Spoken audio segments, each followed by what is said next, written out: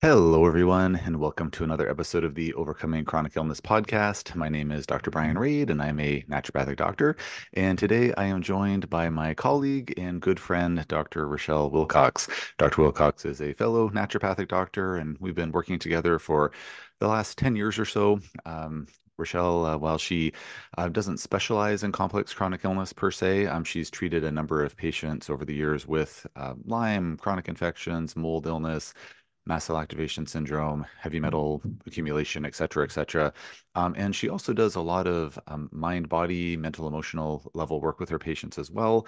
Um, she works with a number of different therapies that I don't work with a whole lot of in practice. And I thought she'd be the perfect guest to have on the podcast because I think she will bring a unique perspective because she's familiar with the wild, wacky world of complex chronic illness, um, but isn't, um, you know, sort of uh, heavily heavily steeped in it and works with other uh, therapies as well and i'm just really curious to pick her brain and see you know what kind of support she can bring to folks who are suffering from uh, conditions that have complex chronic illness but of course um, folks who are getting well um, you know as, as they're progressing along uh, their their path towards wellness, um, you know, putting the symptoms and uh, causes of complex chronic illness behind them um, as they start to kind of phase into being more like sort of typical patients, not complex chronic illness patients, then of course some of the therapies and interventions and things like that that might apply to, you know, say this the general patient population can become, you know, more applicable and relevant to them as well. So I think that there'll be, you know, a little something for everyone in this chat is uh, my suspicion. And then also just from a completely selfish perspective, I just never get to chat with Dr. Wilcox as much as I'd like to. We're both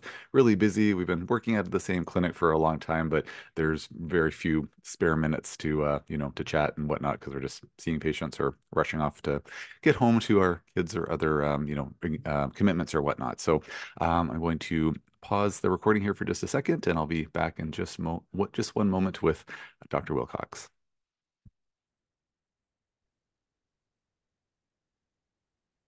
All right, everyone. So I'm now joined by Dr. Wilcox. Uh, Dr. Wilcox, thanks so much for joining me today. It's really great to have a chance to chat with you. Mm, always. I was saying in the intro, we like never have enough time to chat. You know, we, at, you know, we've been working together. I was saying for about 10 years. Does that sound about right? Um, and just the number of times we've, you know, had lunch together or spent time for more than like five seconds in the hallway saying hi, like it's probably can count that on about two hands over the 10 years because we're just so busy running around all the time. But um, it's a little bit sad, but yeah, it's true. It's, it's a little sad. Um, but we do see each other sometimes, you know, outside of work and stuff. So it's like at, at our Chris our belated Christmas party um last night. So that was anyways. We we we still, you know, we still connect from time to time. Anyways, it's nice to be able to chat with you. Um, would you mind uh, just sharing with listeners uh, just a little bit about yourself, uh, maybe why you got involved with naturopathic medicine in the first place, um, uh, maybe kind of what the nature of your practice is like, and maybe just touching a little bit on um, what your uh, experience has been like or what kind of conditions you've treated that kind of fall into that realm of complex chronic illness, please. Mm, yeah, for sure. Um, I originally, whenever somebody asked me this question, how I got into naturopathic medicine, I'm like, mm. it kind of starts with a little bit of a heavy story. I was um, 20 and my brother actually got testicular cancer. And so I was living in Europe at the time and really kind of just dug in. I was going to the library. I was there for fun and travel. And I ended up just spending all my time in the library researching and being like, what can I do for him? And ended up coming home and did uh, I had I graduated from St. Mary's with uh, international development studies. So totally not like science related at all, not thinking, you know, that I would go down this medical route at all. And then, you know, lo and behold, my brother gets sick. It just totally shifts my trajectory. And I ended up studying uh, nutrition and then I just I realized with that I was like, okay, this is great, and this is obviously extremely valuable uh, and the foundation of, of most things. But it it wasn't enough. It just felt like, okay, like what else is there? Uh, and my brother, by the way, is is great and healthy and lovely now. Um, but it really sort of sent me down this trajectory of uh, medicine and health and what it meant to be healthy. Uh, so when I eventually wound up uh, in naturopathic medicine school, I thought, okay, this, this is great because this is nutrition and so much more. Um, in fourth year, I did my uh, specialty shift in cancer. So when I first started practicing, I really kind of focused on cancer. And I did that for about three years and it was really rather heavy. so I sort of changed, I, you know, expanded my practice uh, and yeah, shifted away from that a lot.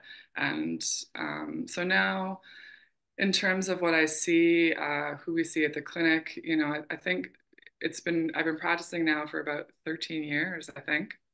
13 years, 14 years. I'm in my 14th year and just that trajectory you know i didn't initially it was like okay i'm doing this out of this drive you know to help my brother and people like this. And and and really watching the it unfold over you know this decade of seeing okay that's happening. And then seeing okay you're treating a lot of stress digestive issues sleep like just a general practice is what i have. Um, but also looking at how people are coming in more and more it feels that more and more people are coming in with this stress of just lifestyle and how everything is imp- like impacting that on every level. And it just feels like it's um more and more that's happening or just maybe my awareness to that is just greater over the years and seeing it's like okay at first you know with naturopathic medicine we have a lot of tools to help with stress whether it's from an illness or from a loved one you know being sick or an accident or you know whatever the stress is in your life. Um, and then my practice sort of expanded. That's where i sort of got into the mental emotional because just you know could see that herbs were extremely helpful and lifestyle changes were very helpful um, but what else could we, you know, do to to really make change uh, for people in their lives and in their health? And so it's it's really kind of changed over the years and it's actually been beautiful really to look back and see okay like how the you know medicine looking at it from this individual perspective and now really the last couple of years it's been more um, I, I, mean I want to say global, it's been global, but it's also been more like community oriented and um, exploring that part of medicine is really something over the last few years that's really fueled me uh, and still really fuels me. It's, it's, a big passion in terms of, you know, starting to do group work and things like that uh, to really bring in more people to support our health uh, and our vitality. So I'm not sure if I answered your question really, but that's yeah. Those are all good, very useful yeah. words to string together, Dr. Yeah. Wilcox. And yeah, it, it definitely touched on what I was gunning for there. So thank you for sharing that. Um, and it's such a, you know, it's it's a great thing to say just for or a great point to bring up for just you know anyone for their general health like you know around the stress aspects of things or i know we were chatting the other day um about uh, you know how the if there's just a lot of you know stressful burdens on a person's nervous system like their ability to regulate their basic you know autonomic nervous system function is going to be compromised if there's too much stress or there's not enough stress uh, sort of mm-hmm. coping mechanisms or whatnot and that can have an impact that does have an impact on anybody's health but so many of my guests who you know are just 100% like specializing in complex chronic illness they I'd say a majority of them now are just, you know, at some point in our conversation mentioning like, yeah, the, you know, um, working on the patient's nervous system is so important, like whether that's amygdala retraining or, um, as you know, and some listeners know, like I'm now kind of obsessed with um, brain mapping and neurofeedback. And like several of my guests have been talking about how that's been really crucially important or, um, you know, somatic experiencing, or maybe we'll talk a little bit about family constellation therapy. I think I had one patient who talked about family constellation therapy, but you'll, you'll be like the most uh, targeted person talking about that maybe if you're okay to go there you're a big big part of what you do. Um, and so excuse me, I think that um, you know it's just a really relevant topic for anyone, but you know, especially majority of folks listening are going to be uh, listening because they are suffering from complex chronic illness, or maybe have a loved one who are suffering from complex chronic illness. So it's just a really relevant thing to uh, mention. So I guess on that note, since we're kind of going down that pathway, um, I'd like to talk to you or ask you about family constellation therapy and other things that you find outside of the. Well, maybe we can talk about you know supplements and herbs and things like that, um, as well as non-supplemental interventions that you found to be helpful for nervous system support. Um, just just before I ask you about that, uh, Dr. Wilcox, I'll just quickly mention that, as per usual, uh, nothing that is said during any of these interviews, including this one, is in, uh, intended as medical advice. It's for excuse me informational purposes only. And if anyone listening needs medical advice, please talk to your healthcare provider to get that advice. Um, so, Rochelle, could you uh, riff on you know what kind of things do you do to support the, uh, patient's nervous system, please? Mm-hmm. Yes, Ooh, so many things. Um, so from uh, you mentioned family constellation therapy which i, I can chat about first. Um, that's been something that uh, i've been doing for the past four years now uh, doing one-on-one with people and then also group work. Um, family constellation therapy is something that originated in germany. It's been around for a long time and it's a way of I think when it comes to, you know, whether it's complex chronic illness, you know, stress, whatever in our life with the demand, the load that we're carrying, family constellation work is a way of looking at you're not just isolated. And I think just really fully embodying that somatically and knowing, okay, like I'm actually not alone. You know, constellation work is a way of, um, uh, bringing your awareness to where you've come from and your ancestors and a lot of what we carry and who we are you know is from our ancestors a common study that uh, you know many many people may know of is the studies that they've done on rats and mice, um, where they've rung a bell and then they uh, shock the rat, and so they've done that numerous times, and then after a while they'll just ring the bell, and the rat will act as if it's shocked um, without shocking it, and then they bred those rats, and then the previous two generations, I believe, afterwards, um, they never once shocked them, but they would ring the bell and they would act as if they had been shocked. So, you know, just this, uh, this uh, idea that, you know, we really do carry so much weight uh, of our ancestors.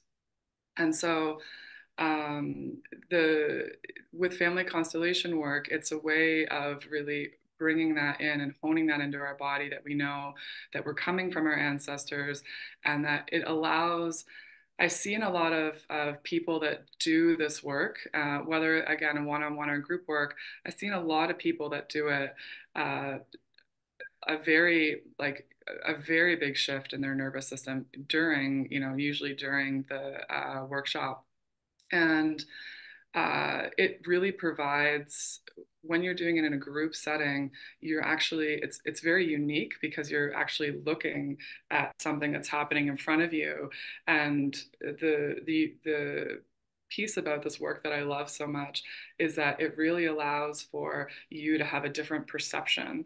And, you know, when you can switch your perception or your reality a bit to your history, maybe to a relationship with your mom or your father, um, you know, a lot of people, example, uh, for an example, I had a, um, a woman that came in with chronic pain um, really, really bad right shoulder pain, but just all through her body.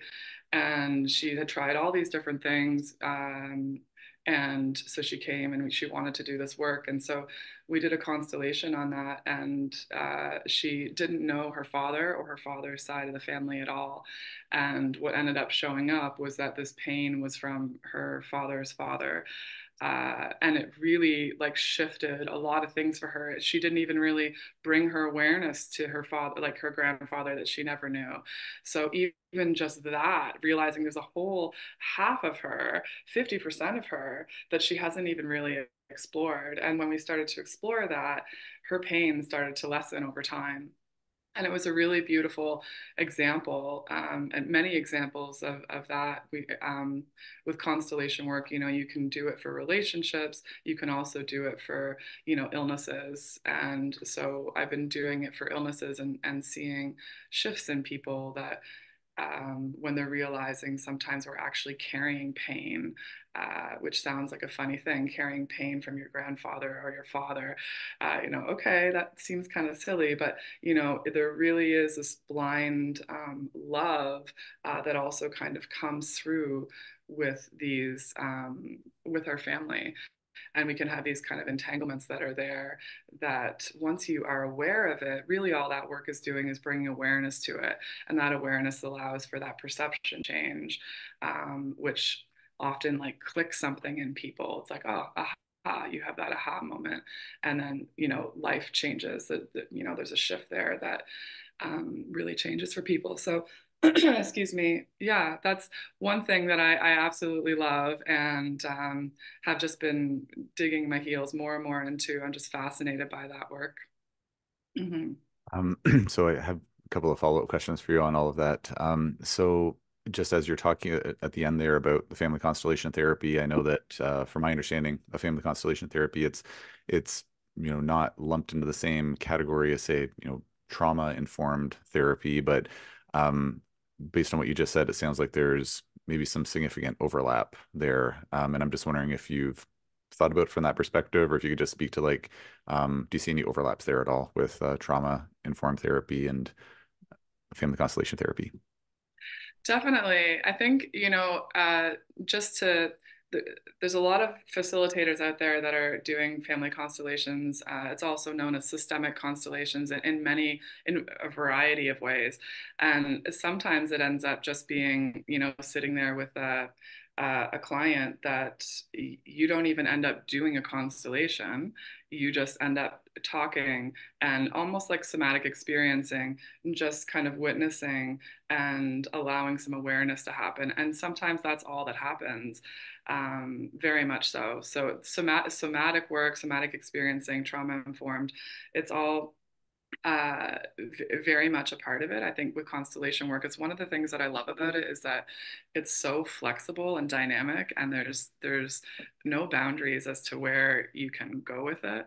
Um, yeah, so sometimes sometimes I'll just be sitting there and the conversation will come out and the client will just have you know when we're when we're doing the work we're, we're slowing down the nervous system um, immediately.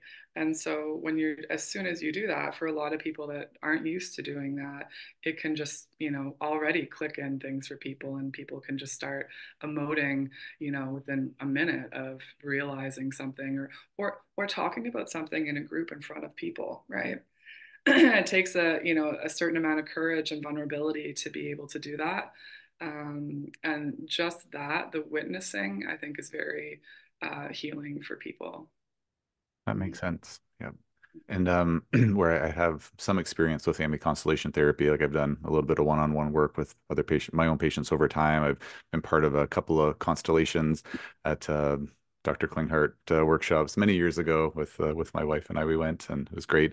Um, but in my experience, you know, much more limited experience than your experience with it, but um, I, I, would, if I was to characterize sort of the family constellation experience, um, I would say that it's uh, it's definitely like it can be it's very very profound, um, and there can be like elements that are kind of like acutely like for short periods of time intense, but generally like I, I kind of feel like it has almost like this um, almost paradoxical kind of gentleness to it in a way where like it's just kind of a very like um it just has like a certain flow to it where it's just this like natural unfolding of releasing of emotions or integrating certain things and um, so yeah kind of this yeah interesting juxtaposition of like incredibly profound sometimes intense um, in the moment but it's not like oh my gosh like i had my family constellation therapy session and like my world was just kind of like rattled for the next like you know three to six weeks afterwards um, and i'm wondering if you've had similar experience or how, how you'd characterize that mm-hmm. yeah um, well, it's interesting. There's a facilitator down in San Diego who des- describes uh, constellation work as in sort of this pyramid, and constellation work falls like a bit um, higher on it's almost like if you think of maslow's hierarchy of needs you know you need to have your survival needs met first before you start you know expanding into other realms and um, she created this uh, pyramid emily waymeyer is her name and um, she created this pyramid where somatic experiencing and working in the body is actually um, very important and almost key to do at least a little bit of that um, before you really drop into some of the family constellation work. And I've I've been you know resonating with that and thinking about that a little bit more, where it is very soft. And the, the piece about that is that yeah, it's very very slow. So there's lots of like time to integrate while you're doing it. You know, it's um, definitely the slowest therapy I've ever and somatic experiencing is very similar. Um, just just it's just very gentle, very slow. Um, so there's lots of times to integrate and to feel the emotions and to let things move through you. Um, However, also thinking about what she said, you know, I think uh, what I've been doing uh, now a lot with people is when people are coming in for the workshop, I'm, I'm screening them a little bit to see if they've had therapy before, if they're able to be in their body, you know, if there's a lot of trauma and somebody's dissociated, um, and then they're going to come to this. I've, you know, had some people say, oh yeah, like it's it's it's a lot, um, and so I've been screening people a bit more now with with the constellation um, just for that like every and the people that it's a lot for um, still really benefit for it and love it and often come back. Um, it's uh, but there is that piece that i really and, and, that's actually why i'm doing somatic experiencing with people actually in office now um, because that's actually helping to prep people before they come and do you know a big day. And also um, i'm creating a six week program right now uh, that will that's going to just offer a little mini like a, a general constellations about an hour. Um, and these the program is just going to offer like little mini 10 15 minute constellations and somatic work and little exercises to get people's feet wet um, and get people you know familiar with that um, before jumping in for a full day. Yeah Okay. And and just for folks who might not be familiar with somatic experiencing, could you just, you know, give us like a, you know, um, elevator pitch on like what that's what that's all about? Mm-hmm. Yes. Um, soma meaning body in Latin, so so body in body. Um, uh, somatic experiencing again is it's it's really everything is tuned into your body everything that you say. As soon as you you know you can think a thought and a somatic experiencing therapist is going to bring you to how that feels in your body. Where do you feel that in your body? Describe how you feel that. Um, and this type of work because our body doesn't lie uh, and it holds on to so much as we know pain suffering trauma. Um, this type of work really gets us you know because we're outside we're all, we're often so in our mind. So when we start to really tune in to our body um, and we start to realize like oh actually every time i think this thought i feel it in my stomach. Um, every time I think this, you know, um, my right shoulder actually starts hurting.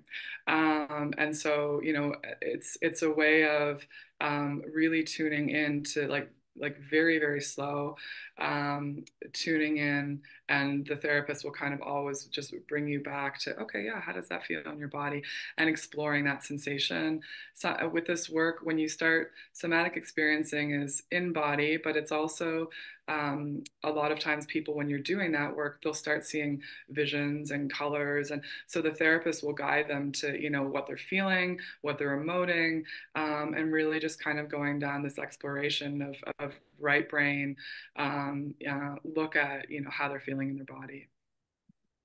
So this could be an example even with somatic uh, experiencing with somebody with chronic illness you know if you're mentioning lyme even just like saying it like like i have lyme and then what what are you feeling in your body when that happens? And, and then exploring oftentimes what happens is that will just lead in a whole cascade of other sensations and emotions and things that get brought up that can also just vary in my experience of it and in the short time i've been um, I'm just I'm into my second year of somatic experiencing. Uh, in my short time of doing it, it's just like it's just blows me away because every time I do it, I'm like, oh, I all of a sudden have a vision or an insight or just more depth to whatever the topic was that I was bringing up. Um, and for both um, the family constellation therapy and somatic experiencing, you, um, if I remember correctly, you said you use the word slow to describe both of those processes. And um my i don't know one part of my brain i'm going to say my left brain is kind of like ah like we need results fast you know people are suffering we need to like get them feeling better lickety split. Um and while and and, and then so uh, part of me is wondering if you could expand on slow in that like well how, how long are we taking here? Like um is this like really slow slow or is it more like no no it's like slow and gentle but like and, and that it's not super intense. Um and then uh, actually, yeah, maybe I'll just leave it there. So yeah, could you speak to the the slowness um, side of things? Yeah, in fact, I think part of it is just it's you know it's when that that nervous system gets so um, tight and twisted, and so when you start to do this kind of work, it's you know to unravel it if you do it too quickly um, a lot of times what happens is the person can't fully integrate that. So what you want to do is to be able to integrate it not only like mentally and emotionally but somatically. So when you're doing it slowness and i also think another word is just like quiet.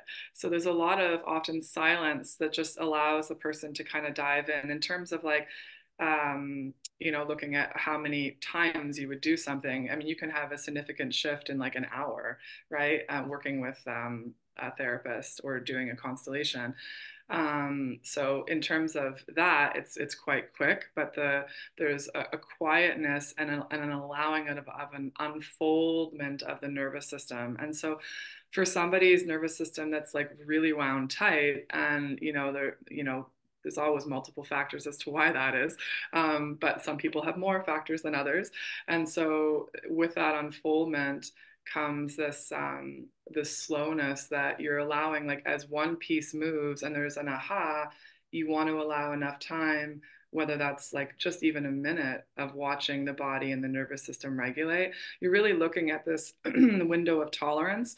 And depending on you know when our nervous system goes outside of that window of tolerance um, we're not going to be we kind of that's when we dissociate and we're not able to like fully ground that in our being. Um, so if we if we stay in the window of tolerance some people have a large window of tolerance and some people don't. And so in terms of how long you know you do these therapies for um, i mean it can take time right? Because you're kind of trying to increase that window of tolerance and it does increase over time so that the person can tolerate more and more stress especially people with chronic illness because they've already have that factor there and um, oftentimes their window of tolerances are are very small so if I'm paraphrasing well or sort of extrapolating from that well, so like it's it's slow um, in that you know it's kind of moving um, at whatever pace the patient's nervous system will keep it there. Maybe there's other non-physical uh, levels um, as well there, but say you know it's kind of keeping pace with what the patient's nervous system can tolerate, and so that might go faster for some, you know, slower for some, depending on what's happening. Um, as far is that is that fair to summarize it that way. Um, and then just in terms of say like the number of sessions that someone might need to um, to uh, you know uh, work with to get to the point where like oh I'm you know noticing some change like uh, is it quite common that a patient would notice some type of change like after after every session um, or would it sometimes take you know three or four sessions before there'd be you know some kind of a an obvious shift that they're experiencing mm-hmm. great question great question um, Bert Hellinger, the um, originator of family constellations work, uh, would say, and I'm saying this with a smile on my face, you only ever need one constellation. um, you know, guy. pardon? He was a confident guy. Confident guy, yeah. I'm definitely not Bert Hellinger.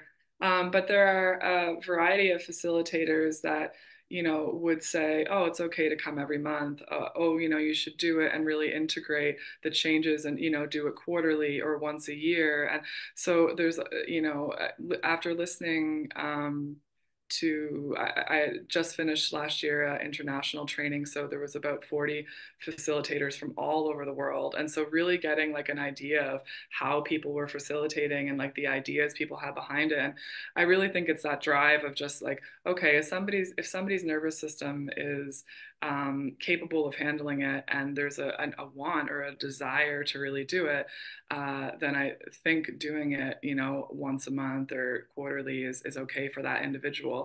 In terms of how much you need, um, I, I it, it's really hard to say. I've I've seen people where they've done one constellation and then I've talked to them later and they're like that changed my life, like it changed everything. And then I have other people that you know, uh, one person thinking of a really um, tough relationship with money and tough relationship with father, and um, we did a constellation on a relationship with her father and it really really shifted things for her um, however and it did with money too but then a whole other thing came into play that we did one on money and so there so yeah, the, it, it really depends, but definitely I've seen that you can do like a day of constellations and have a profound shift. So it really depends on, you know, the individual, like what they want to shift and what's happening in their lives. And yeah. Okay. Thank you. It's a good, good answer. Um, kind of just uh, in where this is, you know, rapidly turning into like the family constellation episode of the podcast, which is which is fine. You know, we're just taking it where it goes. Um, it's all good. Um, so just kind of uh, circling back to um, just the uh, where you mentioned about um, kind of ancestral um, things that we're maybe carrying like from our ancestors or whatnot. You know, the the rat study. It's you know super super compelling inf um, information, obviously. And so just you know for a listener being like this all sounds good, but like, man, like if we just come back to that, like, what's the mechanism of action here? Like that seems like it's it's a little bit of a leap of faith to be like, yeah, we're carrying stuff for our ancestors. Like, sure, rats, you know, but rats are rats, humans are humans, you know, bells are bells, you know. Um, so I, have heard um, uh, Dr. Klinghardt, and I'm, this was quite a long time ago that I did his family constellation, you know, seminars or whatnot. But um, I, I, believe that he, you know, spun a pretty good yarn about being able to piece together some evidence um, where there's some um, sort of we we carry some of the um, uh, you know emotional traumas and things like that like actually in our dna and that it's something that's like literally passed on it's kind of like somehow encoded in the dna and whether that's through um, uh, you know certain uh, propensities for certain gene expressions or it's actually causing mutations or um, you know I don't know but that there he kind of linked it back to saying like there there's a plausible you know physical mechanism here through DNA transfer. Um, then another plausible mechanism to my mind at least would be like well maybe it's you know more about that you know so you know my great great grandfather had a certain trauma and then he that caused him to act a certain way. So he raised my you know great grandfather a certain way and then that impacted him and then he raised you know my grandfather a certain way and then my father and then me and then so like it's kind of passing on more through uh, you know sort of behavioral choices and changes and things like that. So um, sounds like there's you know some we'll say some theory out there that like maybe it's more of like a physical transmission from generation to generation or maybe it's more of a behavioral transmission from generation to generation. So um, is there um, a, a, definite mechanism uh, that you can tell us about? Um, if not, is there another explanation beyond what I mentioned? What are your thoughts on it? Um, could give us some insight on that, please. Uh, yes, that isn't that the question of family constellations, isn't it? Yeah, that's that's the big question. It's like, how does this actually work? So there's a lot of different theories, and um, yeah, uh, Klinghardt does touch on that, even thinking of how, you know, our eggs are actually in that that we come from, our, we're in our grandmother's womb. And then so it's just the how that, whatever our grandmother faced, you know, gets passed to our mother, gets passed to us, our maternal grandmother, obviously. Um, so I, I think there definitely is on, on a larger scale, what you mentioned, I think all of that is relevant. I think behavioral patterns, um, uh, DNA shifts, like I, I do think there is, um, that all of that is part of it. Um, the one thing that gets mentioned a lot is just the morphogenic field, the fields that we live in, and how that implements. Um, uh, so many, uh, well, everything that, that essentially it's like this information field that we're a part of. And so we have this family field. Um, so Rupert Sheldrake, uh, Sheldrake talks about that, the morphogenic field. And uh, Lynne McTaggart wrote a book called The Field field. Um, and so really just kind of getting into, you know, what I have a lot of curiosity about this because doing this work, I've, I've, always naturally been quite a skeptic. And it's very funny that now here i am doing constellation work which is like pretty you know it's like how, how does this work? This is pretty skeptic but there's such curiosity i have around the field because when you see what happens you know in a workshop and you you know you see how somebody responds in the same way that somebody's grandmother would or information comes in that there's no way that you know you would have known about that um, it's just very mind blowing. And, you know, Klinghardt talks about those five levels of healing the physical, uh, the energy, the mental, the intuitive, the spiritual, and, and classifies family constellation up there in that realm of intuitive, esoteric. And it really, it really does go there. And I, I think that's one of the things for me in in terms of my practice it's like you know the beginning kind of going back to other things but you know working on the physical and making sure people are doing like herbs and the supplements and the exercise and breathing and nature and all of that stuff and kind of working up the line and then uh, you know watching and seeing okay if people are getting these things in it's like maslow's hierarchy of needs. It's like okay if these if these basic things are met then can we tap into whatever this is you know the intuition or this other part of us that um, I think is becoming, uh, you know, more and more popular and becoming addressed more in medicine in different ways. Um, but family constellation work is just a way of doing that. Um, and the field is something that fascinates me. It's definitely mysterious. Uh, but it holds, I, I, can clearly tell that it holds information. Like it's very obvious in every workshop. So whether or not, um, you know, Lynne McTaggart's work, she uh, has some studies in there, and actually, it's quite a heavy book to read on the field, but it's interesting. Um, yeah, it's just there's so many different theories of it, but I think the mystery and the curiosity I have is the biggest part that actually drives me to do it more. It's like, what is this, and how is this helping people? It's it's important to explore those areas that we don't can't fully explain. You know, as it's like you know, ibuprofen, it generally works well for headaches and aches and pains. And it's like, great, like that's been pretty well established, but that's not very exciting to like study that further. It's like, it's just been established. We know what ibuprofen does. But then something like this, like, oh, so much mystery. And yeah, somebody's got to be, you know, thinking about it, looking into this stuff.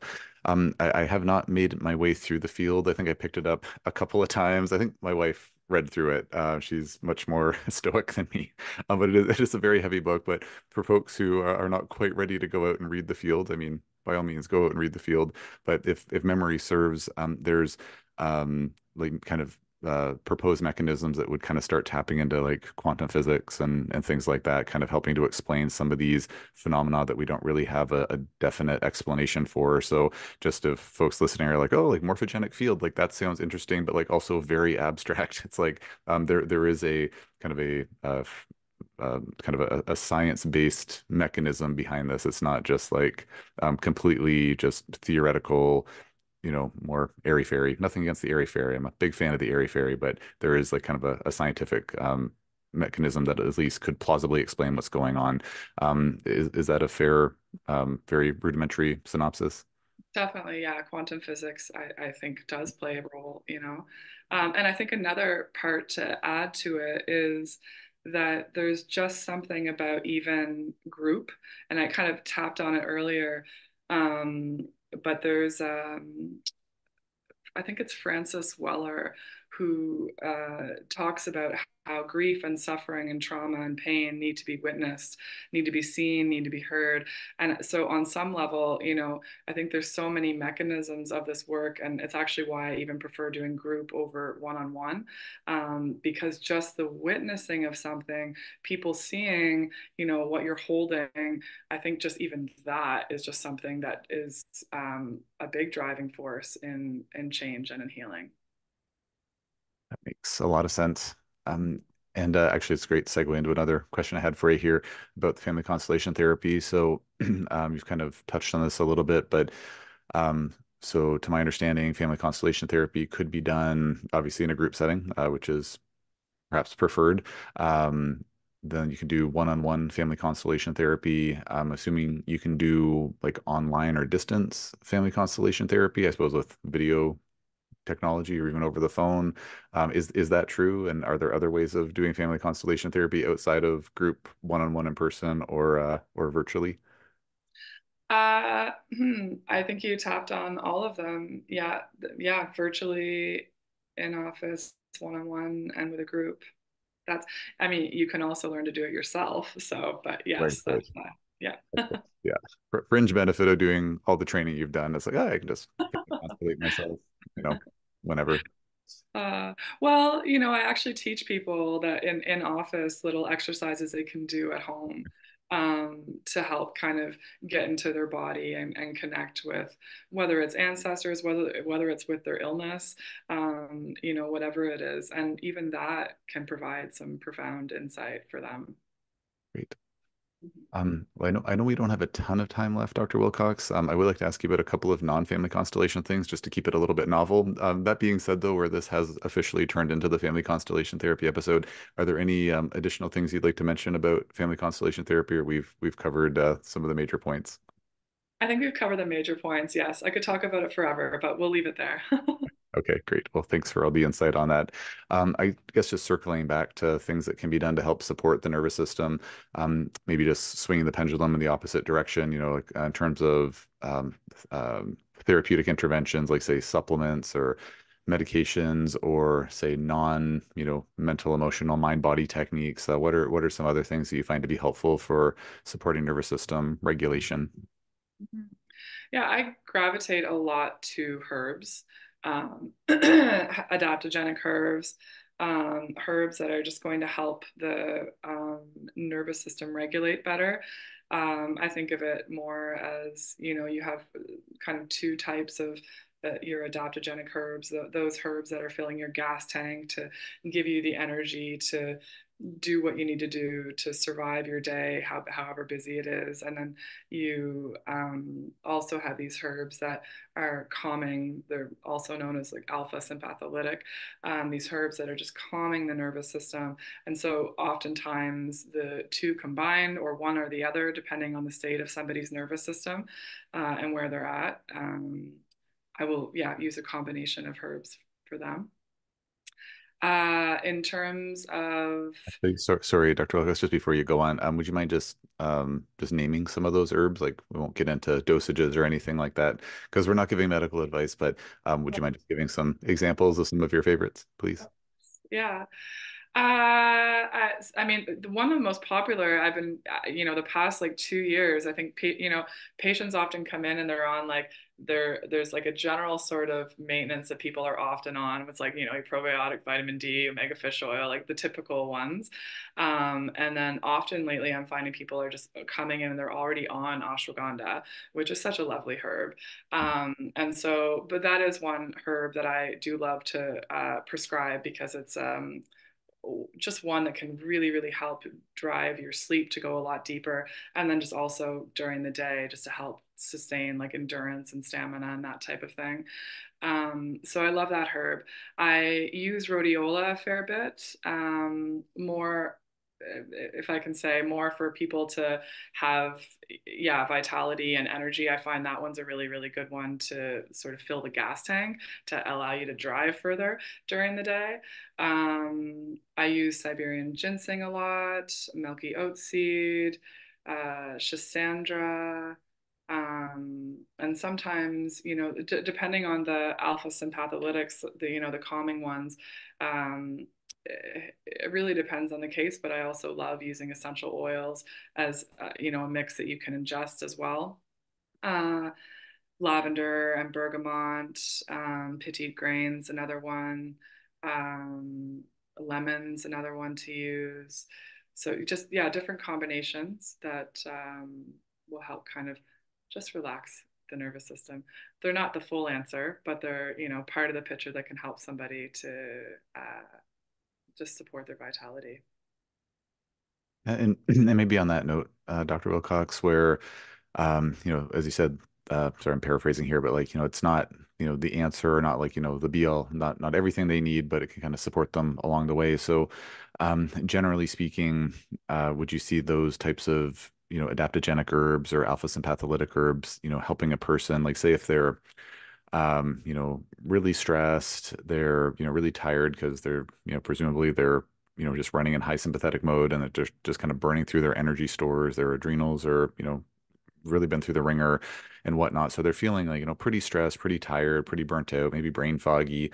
Um, would you generally see those adaptogenic herbs or alpha sympatholytics, you know, helping someone, you know, um, if say their symptoms are 10 out of 10, we're trying to get them down to like one or zero out of 10. Would you see them, you know, those um, herbs, you know, dropping someone by like, you know, one or two points on that scale, four or five points on that scale? Like, um, how supportive do you find that they can be? Um, bearing in mind that, you know, we probably do need to get to the root cause, whether it's more work-life balance or they need to start exercising or need to do some stress management or need to do some family constellation therapy. But uh, how, how helpful do you find those herbal um, uh, interventions to be? Right. I'm going to give you an answer that um, is pretty typical, I think, for naturopathic medicine. it depends. Uh, Um, but yeah, so it depends, but definitely, um, uh, you know, it's it's actually interesting because there's been I actually had a patient yesterday where this was the case. This is an example of something that's um, happened quite a few times. Um, but yeah, over the holidays, they ended up not doing um, uh, part of the protocol that we had prescribed. And they only did the adaptogenic herbs. And they had come, come in for chronic pain, and I wasn't really giving them, them those herbs for pain. Uh, and then they came back in and they were like, oh, actually, like my pain's a lot better. And and I was like, oh, and they ended up not t- taking anything else. And I was like, that's very interesting. And obviously, variables of seeing family and being off and things like that over the holidays also impacted with there's usually more stress around the holidays too for people um, but you know, I do.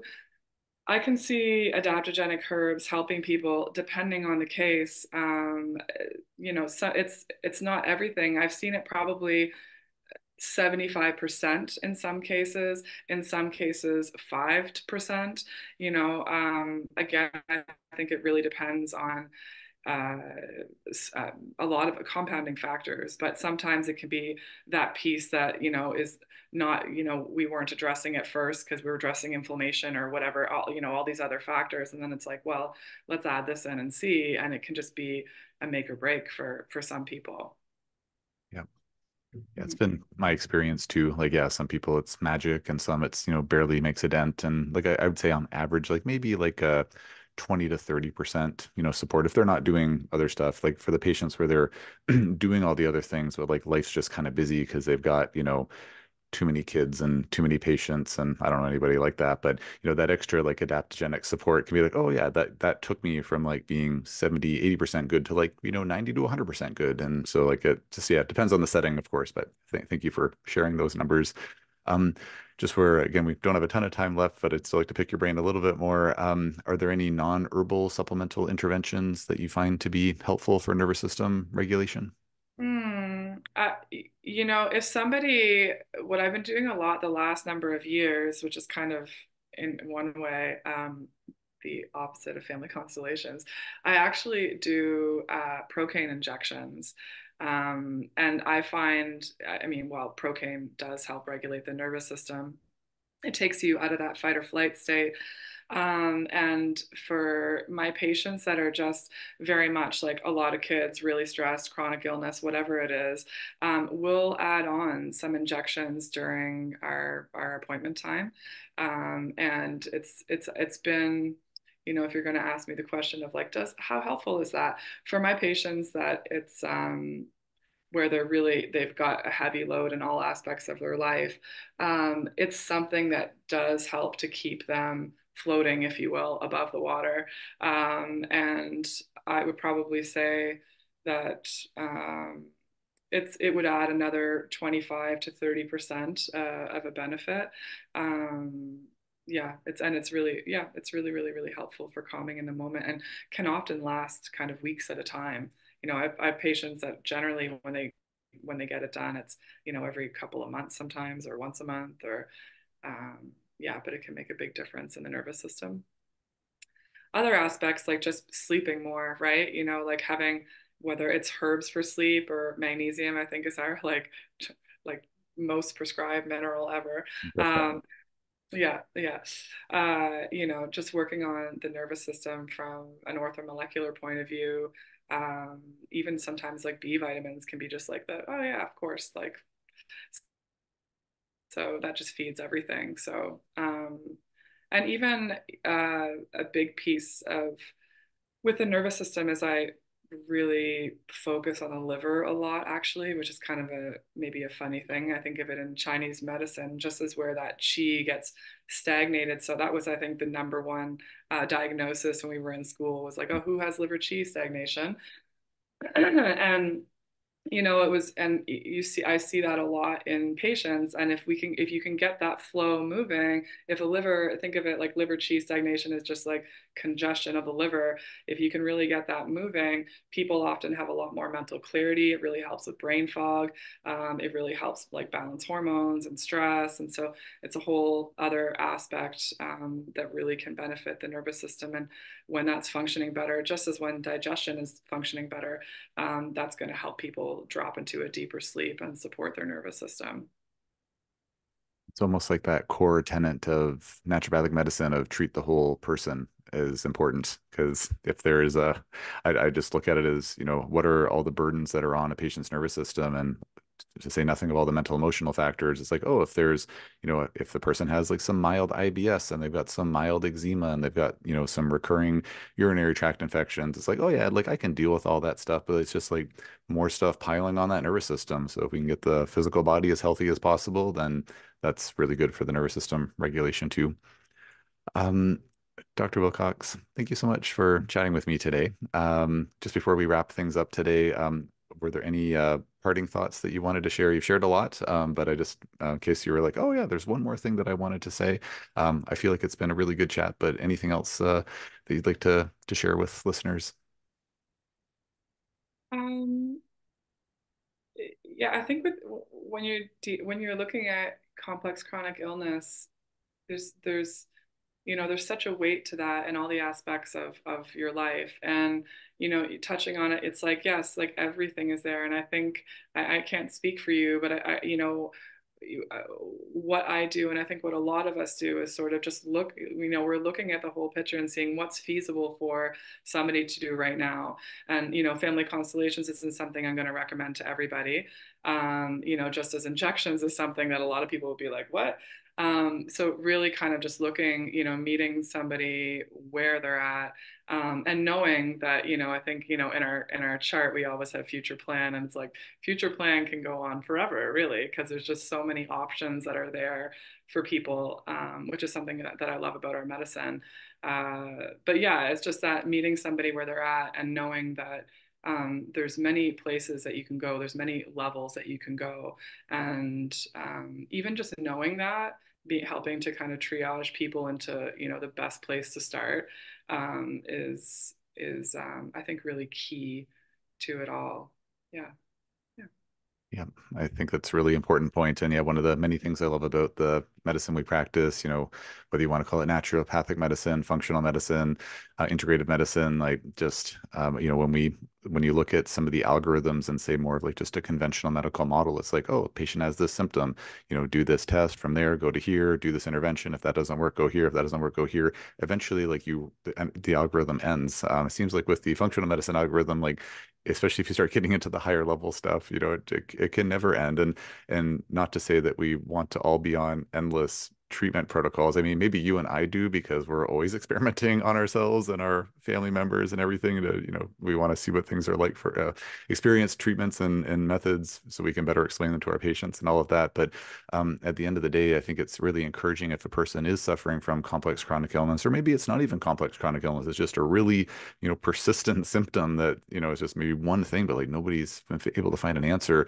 Um, it's really encouraging to know there are you know so many things that we can explore because the human body is so darn complex and you know it's it's nice to have those options if folks you know want to look for them so i think it's a, a heartening thing to know about um, so, uh, Dr. Wilcox, if folks wanted to um, work with you, I know you don't don't have a, um, a, a, social media presence as, as, it stands right now. We've talked and joked about that for many moons now, and that's all good. Probably better to on social media, but many of us have taken the bait. Um, but uh, folks wanted to work with you, um, either you know one on one or, or uh, you know long distance or whatnot. Um, what's the best way to get in touch with you?